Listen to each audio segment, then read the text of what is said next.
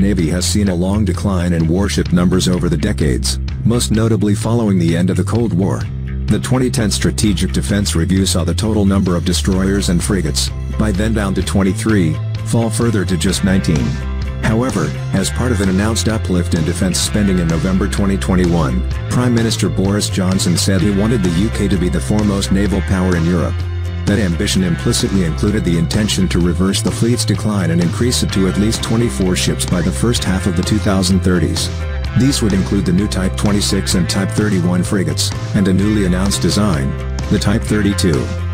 These aspirations were reinforced in the March 2021 Integrated Review of Security, Defense, Development and Foreign Policy and the accompanying Defense Command Paper. Speaking in March 2021, the then First Sea Lord and professional head of the Royal Navy, and now the Chief of the Defense Staff, Admiral Sir Tony Radakin, also stressed that the fleet was growing in size and reach, although his calculations were chiefly based on the arrival of the two 65,000-ton Queen Elizabeth-class aircraft carriers. Beyond that, another pillar supporting the Royal Navy's ambitions was a refreshed national shipbuilding strategy, with a supposed 30-year shipbuilding pipeline. This strategy was the focus of the HCDC's interest. The Secretary of State for Defense, Ben Wallace, and senior naval officers faced questions on whether government and industry would be able to deliver on the plan. One of the concerns raised was that the first of three critical new auxiliaries, the Fleet Solid Support Ships, FSSs, would not be ready as planned in 2028, despite reassurances from the officials that the delayed contract process would still deliver the vessels from that date onwards.